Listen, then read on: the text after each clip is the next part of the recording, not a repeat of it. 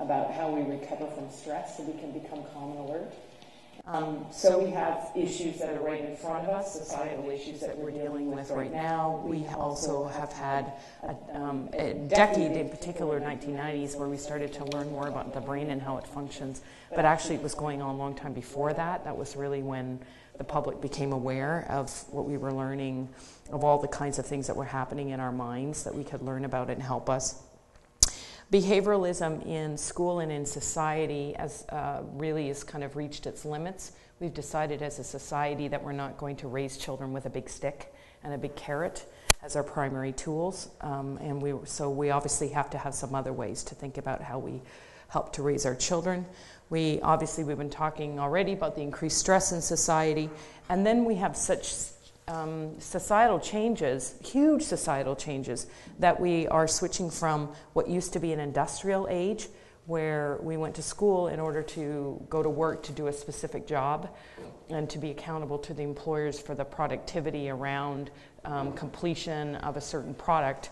And now we're moving very quickly into an information age, which means that we need to be able to be independent and creative and develop our own skill set and um, uh, individually offer something to a consumer driven society.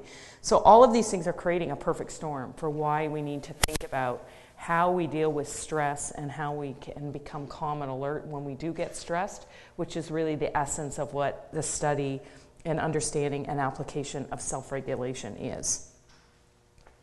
So, stress. What is stress? Well, we think of stress as you know people bothering us, things happening to us, and stress also also has a physiological um, underpinning, right? We feel stress in our body. We feel that we get tight in our chest.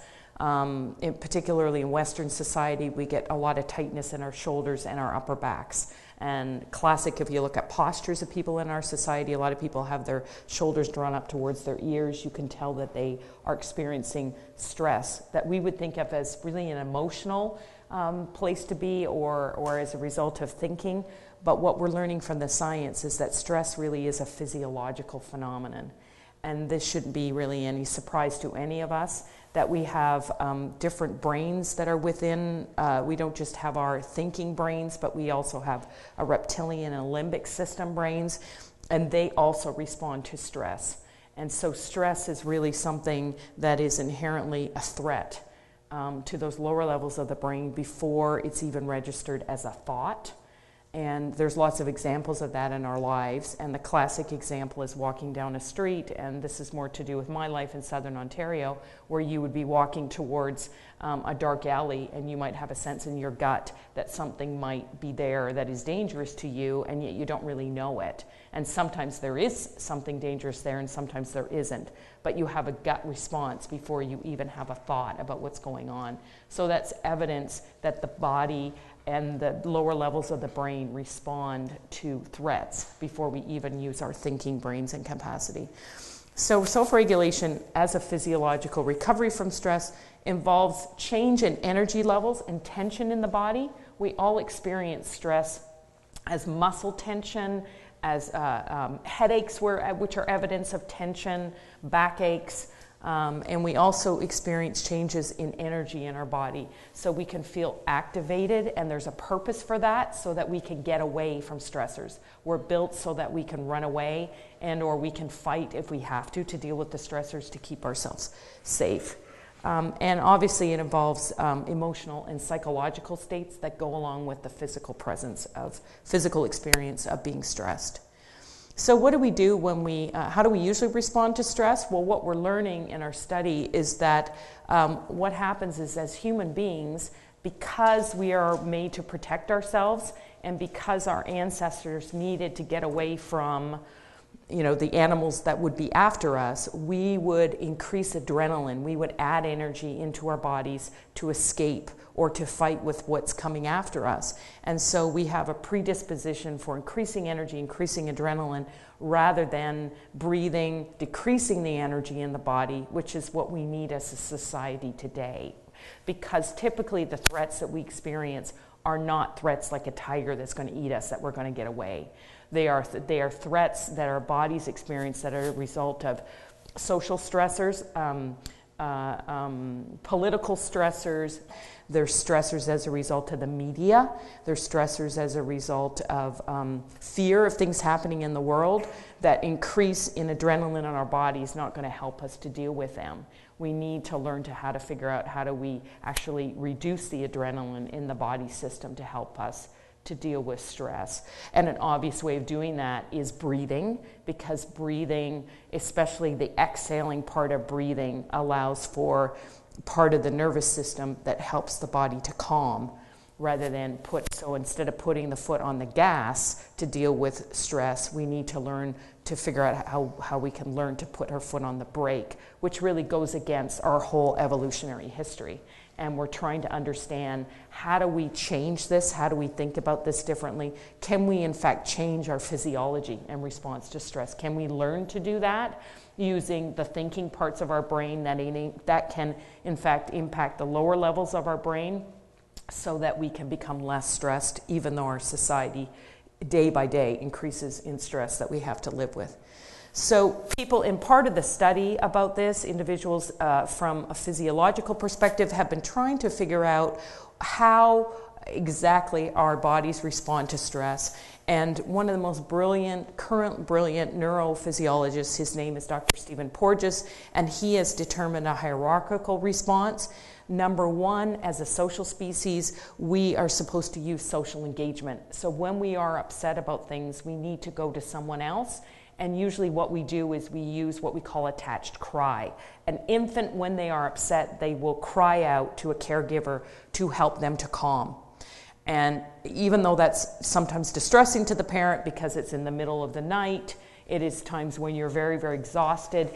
It's a necessary system as a social species in order to get that help as a vulnerable, small human, human child to be able to learn to calm themselves because we don't come into the world ready and able to calm ourselves. We need the presence of literally someone else's caring brain to help our brain to learn to calm through what we call the social engagement system.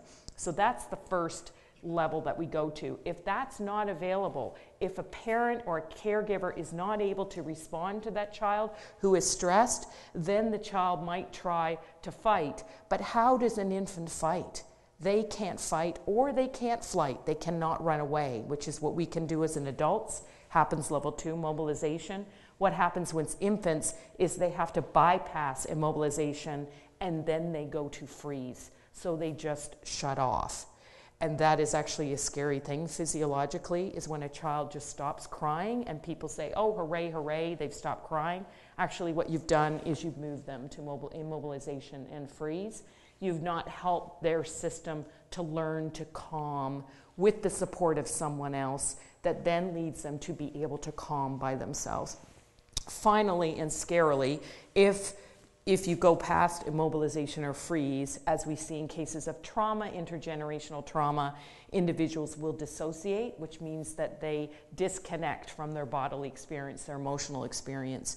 And, uh, and that, in our ancestral history, is the equivalent of, of feigning death, which means that the opioids start to flow into the body so that the animal that is chasing you, when they eat you, you literally won't feel it as painfully as you would otherwise. It has an ancestral evolutionary purpose that translates today into uh, people dissociating and having difficulties coming back into reality because those chemicals are so strong. And that's a place where we don't want anyone to be because that means that you need psychiatric help in a lot of ways. Okay, I'm probably, am I jingling the cord too much? Okay, so um, my, my boss, Dr. Stuart Shanker, in his book, Calm, Alert, and Learning, that's what CAL is for, he has come up with five domains of stressors. This is the briefest summary I can come up with. If, you find, if you're interested, you can find the Calm, Alert, and Learning book.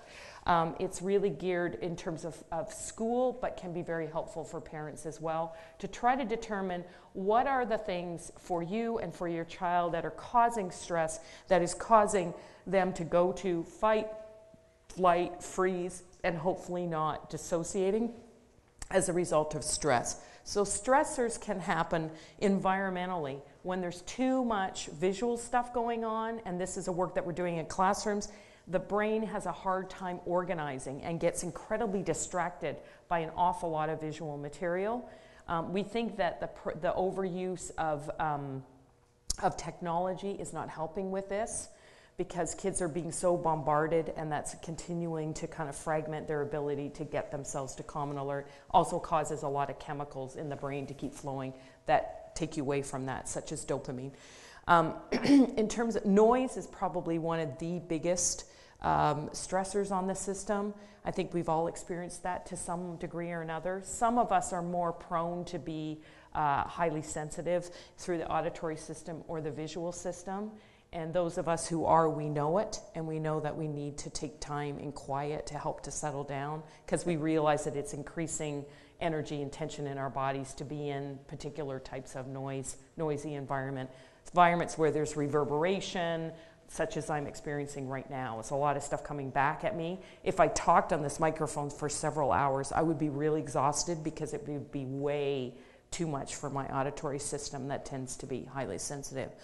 Biologically, we all know the impact of lack of sleep, right? It makes you feel uh, energy and tension in your body. Emotionally, you feel stress as a result of lack of sleep. Relationally, you feel lots of stress as a result of lack of sleep. We know the, that impact it has on our ability to feel calm, which is a physical experience, an emotional experience, and a thought process experience all of which are inextricably intertwined. It's really difficult to separate them out because we are body, emotions, and thoughts all together at the same time. Um, obviously, nutrition impacts. I talked about emotions. And cognitively, if you're having difficulty paying attention, sustaining attention with someone else, getting access to your thinking abilities, problem solving, with others, you're going to have some stress from just having difficulty accessing those basic thinking systems. And so, all of those things we need to consider when we do our work with schools, when we do our work with families and, and children, and we're trying to get more and more study and research of the impact of these stressors in, um, in different situations and how we can support families and schools. Okay, so how do we measure what um, Calm and Alert looks like? Well, we go to the work of, of Dr. Brazelton, um, Porges, and others, and they, they have created what we call the six stages of physiological arousal. They're really about energy and tension in the body. They were originally used in neo intensive care units to try to quantify how those little bitty bitty babies were doing functionally and what that meant in terms of energy levels in their body. We can all relate to these because it's about all of us. We have less energy at the bottom, we have more energy at the top. The issue is if you put on on a brake, you're going to decrease energy in your body. If you put on if you activate some energy into your body or the analogy is putting your foot on the gas pedal, you're going to increase energy into your body. So we, we range from asleep, obviously less energy, to drowsy, almost asleep, which infants do so well, and adults have lost that capacity. We just collapse asleep typically, sadly enough. It's a really important place to be because it's the brain is helping itself to just slide down into sleep. Hypo alert, feeling zoned out, too tired to think. We all know what that's like alert, calm enough to be focused. It's the place where you can tolerate feelings, sensations, and thoughts, and, they're, they're, and you're able to adapt to the situation behaviorally. Hyper alert, you're getting excited, angry, upset, you're feeling that energy flowing through you, you're starting to get more and more neck tension, headache, you're, you're getting more and more grumpy and upset, leading to fight, flight, flooded, where obviously some energy has to be released expelled because the body just can't hold on to it. We have lots of sayings in society that go along with all of these levels. You know, he's going to blow. She's, um, you know, she's trying to keep a lid on it. Right? We we talk about these things inherently in in our conversations as we observe each other behaviorally and what we see going on with others in terms of uh, emotional states and uh, physically how we're doing and how we think each other are doing in terms of our thinking abilities from moment to moment. So, quickly, the Aboriginal Self Reg School. Um, I've been working with the First Nation School in British Columbia. There are children there, aged 5 to 14. They have preschool program on site. They have an integrated Aboriginal program that involves language and culture. Um, uh, they're really fortunate. They have two wonderful Aboriginal elders who are employed full time around in the school. And they use, they try to integrate use of First Nation practices as much as they can with both the students and the staff as much as they can. Um, looking at a grade three classroom, if I were to look at them through a self self control lens, a very behavioral lens, I would say that these students, several of the students, were unable to do independent work. They were they looked checked out a lot of the time. There was a lot of verbal outbursts. They had were able to do very little independent work. There were some kids who were literally running from the class.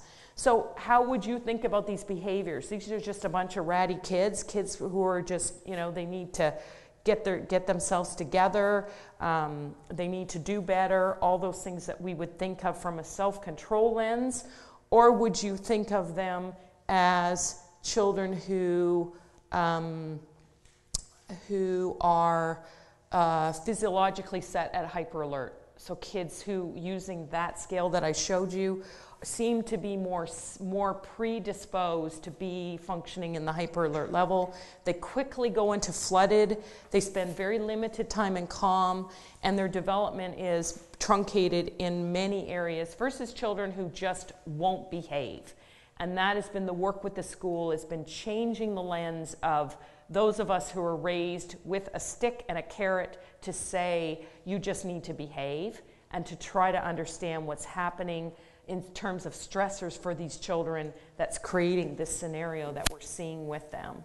When we look at their stressors, a lot of these kids have poor diets, they have lack of uh, exercise, there were a lot of visual, auditorily busy classrooms, their emotional growth is really delayed, as is their cognitive de- um, uh, development. They have some pretty um, big difficulties in terms of socially, and we, we didn't get into that, but that involves um, understanding intentions and feelings of others. Their uh, understanding of others is very skewed, which is increasing their stress, right? If you have thoughts about people that really aren't very true.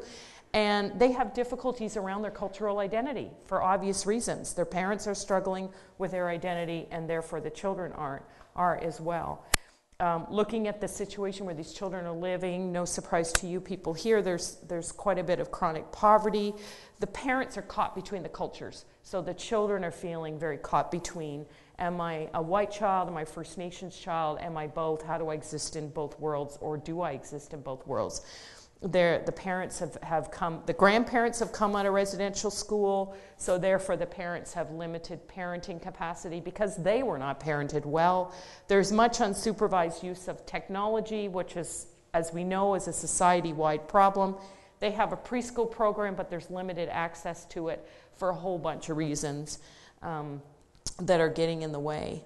So, what do we do with these kids? Well, when I go in and work with them, I look at how many kids are at each of those different levels. So, in quickly in this classroom, there were a whole lot of kids who were experiencing a lot of time in fight, flight, flooded. A lot of kids. So, we're talking 20 to 25 kids who were um, eh, pretty consistently in the hyper alert.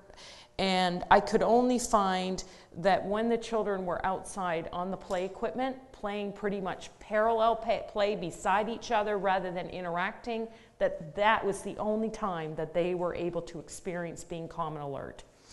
Um, and a lot of kids, some of the kids feeling hypo alert, so they're drowsy, they're falling asleep on their desks at school. So, what do we do? We look to the teacher first because as the adult, the adult has to be able to regulate in order to help themselves to calm so that then they can support the children to be able to calm. The teacher identified that she liked movement. She needed to start off the day quiet. She didn't like the chaos in the hallway in the mornings. She likes to read to her students, that she likes to share and try out different ideas from other teachers, that she has lots of visual clutter in her classroom, that she needs to get rid of some of it and that she's auditorily sensitive and needs to reduce some of the noise that's going on in there. Identifying in particular when asked, what sound in this room bugs you the most? The sounds of the desks moving on the tiles it was a big uh, irritation for her. So, what did we do? Well, we looked at um, what supported the teacher first, because kids will follow the adult that they have the relationship with. And the teacher said, I need some more movement to get started with the day. Let's do an obstacle course. So when everyone else in the school is coming in, chaos in the hallway, getting into their lockers, etc., her kids are outside with her doing a different obstacle course each day. They come back after the other kids come in the classroom. They come into the classroom. They have a lovely soft start where there's, where there's uh, breakfast available. The kids can choose to do some silent reading. She started to introduce some plasticine, some really, you know, that hard plasticine kind of stuff, much harder than Play Doh, that you really got to work with to mold. She had to teach the kids how to use it. It became their soft start. The kids, once they had that experience, they could actually get some work done and she was feeling calmer, therefore they were feeling calmer, and they could get some things done. She put the tennis balls on the desk legs, and I'm finding out here that there are some other wonderful adaptations that can be bought because I guess the tennis balls have some problems. She reduced visual noise with the, uh, the curtains in, in the classroom. I'll show you a bit picture of what that is. And she, we encouraged her to keep her quiet voice, not to raise it, because that was really stressful for her. Her presence, she could be the strong, firm teacher in charge with her quiet voice. And how she engaged the kids was doing some beautiful hand movements that would imitate, for example, birds. And the kids would copy her movements, and that would help to settle them down when she could see them rising, hyper, hyper, hyper alert, getting to that flooded stage.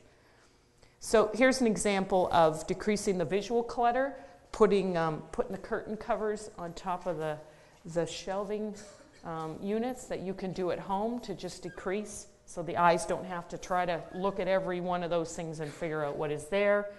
There's examples of, of uh, decreasing the amount of stuff that's in the room, um, uh, allowing for a sense of more openness and freedom that she found was helpful for her um, involving the kids in the daily. So, not only the, the movement, the obstacle courses, but she made sure that there were lots of daily breaks, that kids would work in groups of two or three, doing lots of activities, moving around. It was well worth the time it would take to go do them because when they came back, they were in a far better place to learn.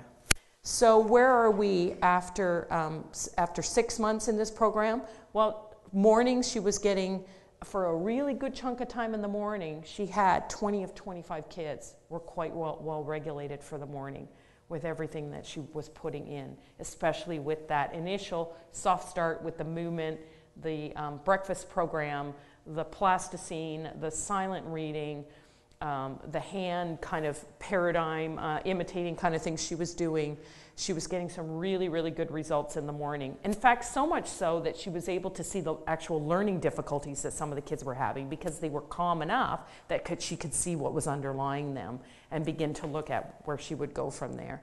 So then the questions were okay, so now, now where are you at?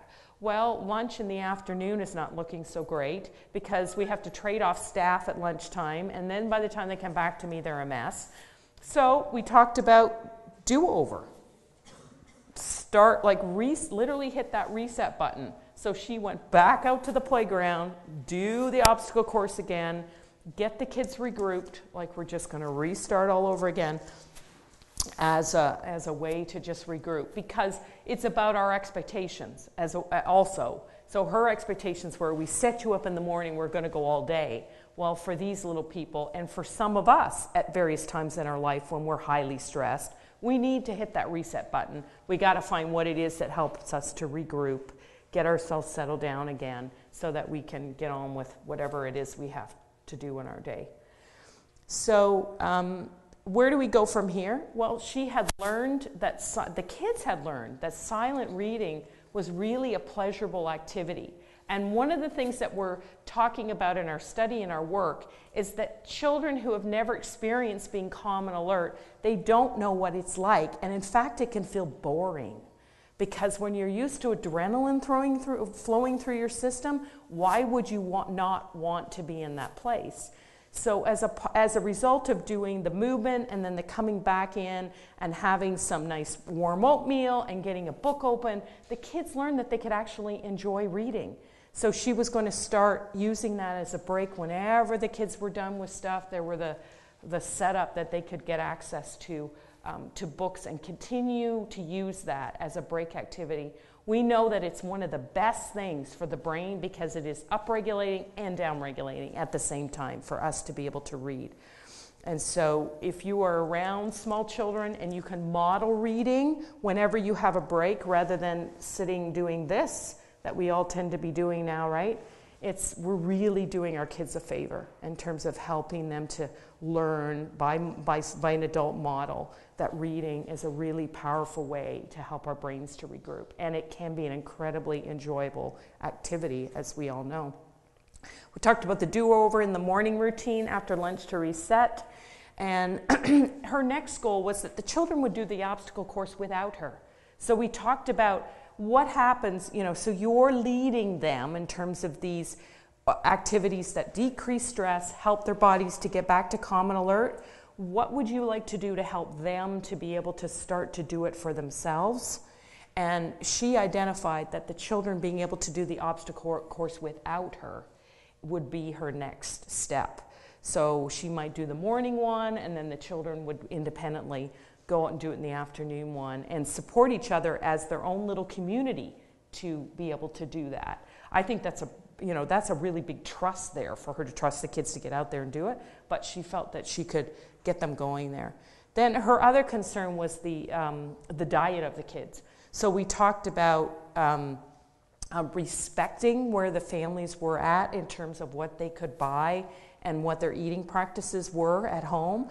But she wanted to talk about exploring healthy eating through stories. So involving class projects where kids could just take a bite of a really healthy food as part of a story or a discussion point that would um, begin to introduce them. So, the idea that sometimes we're planting today for maybe not what those kids are going to eat in their current family system, but down the road, leading towards self regulatory practices of healthy eating that maybe these children will eventually be able to step into and say, Yeah, I remember when the teacher introduced me to spinach in a salad or, or something that was, or some sort of vegetable that was tasty to them that they might carry in the back of their minds when they have an opportunity to access it later and make it interesting and make it inviting. And that she was going to go with that. And then once the kids had actually been able to experience being calm, for example, when they're reading a book or they've done the movement activity and they've come back inside, she was wanting to introduce them to those six stages that I outlined. And there's several programs that have different kinds of language for children to help them to understand where they're currently existing on that self, uh, on the six stages. Um, and so she was going to choose one of those programs. The point being that you need to be able to experience being calm and alert first by being regulated by someone else before you can start to be able to get there yourself. And if we can map it on to some sort of language and understanding, so top, bottom brain up, top brain down, integrate it in a way that is understandable, our, our larger question is are we going to be able to help children to be able to deal with stress better so that they will not you know be, be as stressed out when they get older as they are even right now and as we are as a society is really what we what we want to investigate um, and then I think finally, looking at the time here, they have uh, school wide cultural practices. So I'd mentioned that there was a big presence of the Aboriginal elders in the school. So these are some of the things that they brought in. Um, uh, in terms of restorative circle and drumming opportunities and martial arts and yoga from more of the white culture in the community, um, local artist program, uh, emphasis on displaying the children's art in beautiful displays to recognize their abilities um, and, ident- and identify with the children. And at, towards this year, they were looking for class, looking into class pets. They've invested in a garden where they're going to grow some herbs. Um, uh, and then lo- looking into more opportunities for different outdoor and indoor micro environments for learning and play to continue to expose these kids to different opportunities where we can feel enjoyment experiences living in our bodies rather than running around just using them and integrating that with the thinking about how we're enjoying um, being in those places of being calm and alert that interestingly enough don't involve technology which is where kids tend to gravitate towards. So i thank you so much for your attention for that whirlwind tour into what self-regulation is and the aboriginal school.